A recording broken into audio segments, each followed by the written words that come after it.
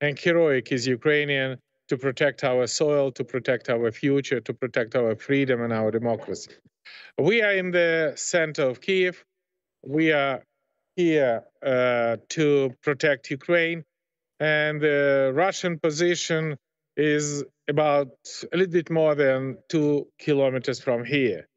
Uh, this is very difficult uh, to explain what does it mean in the 21st